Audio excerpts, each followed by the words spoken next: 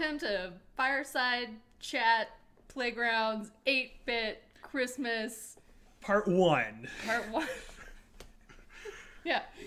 Uh, in these videos, we are going to attempt to really get to the core of what is Playground's 8 bit Christmas project. I'm David Farrell. I'm the composer of the 8 Bit Christmas Project. And I'm Sarah Whitnah, violinist and board president. So, Sarah, where should we start?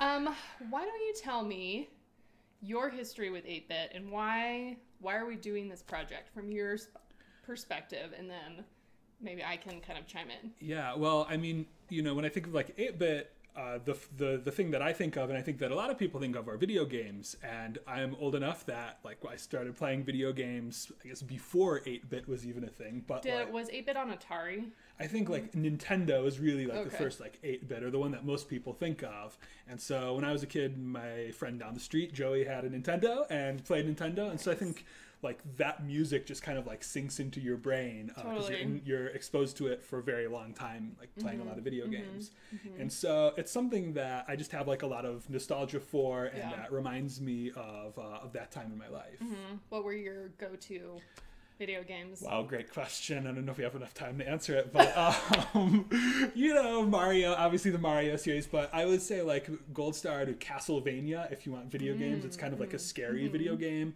And they just had a lot of really, really great 8 bit music. That series Do you think that cool la- like influenced your arrangements? of One these pieces? hundred percent. Like I think of literal video games when I make these arrangements, and Mm-hmm. like I think of that music for sure. Mm-hmm. So some of them are I think of like specific games and the feelings of those games. Yeah. hmm I know this might be jumping ahead, but in Auld Lang Syne, you quote a video game. Is that right? That's true. Yeah, I quote Mar- a cla Mario, the true classic Yes, of all video yes. games. I felt like it was finally time. Yeah, yeah, it's fun, you know, to have like some of those signatures Mm-hmm. because I don't think I'm the only person who has listened to so much of that game music, and I don't think I'm the only person who has a lot of those associations. Mm-hmm. Yeah. So, um, when did you get into doing 8-bit stuff? What prompted that?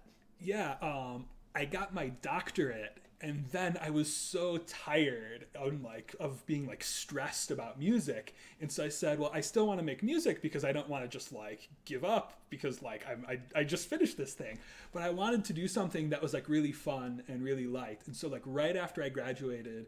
Uh, with my doctorate was when I first made 8-bit music because I wanted to be creative and making music, but I didn't want it to be so strenuous and stressful like it was when I was finishing that degree. And so that's when I first made a piece called 8 Bit Chaconne, which was just like a fun, light 8 bit thing that I, I put together and had fun with and like didn't really think too much about.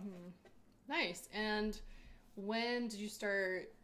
I know that you've been doing Christmas 8-bit for a while. Yeah, it was it was right around that same time, Okay. right? Um, I had moved away from the Midwest where I'm from, and I was living in Texas, and um, I had done this one eight bit piece, this this thing that was just kind of a fun thing, and it was completely like spontaneous, spur of the moment. I went to a Christmas concert at the university I was teaching at, and then I was done, and I went home, and I poured myself a glass of whiskey, and I was just like, you know, like it could be fun to just like make a Christmas thing.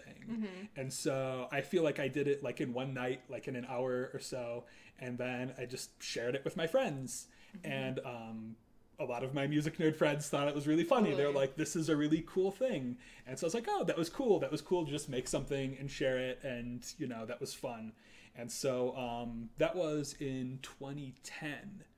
And every year since then, I've made another one just because it's still been fun every year. Yeah, totally.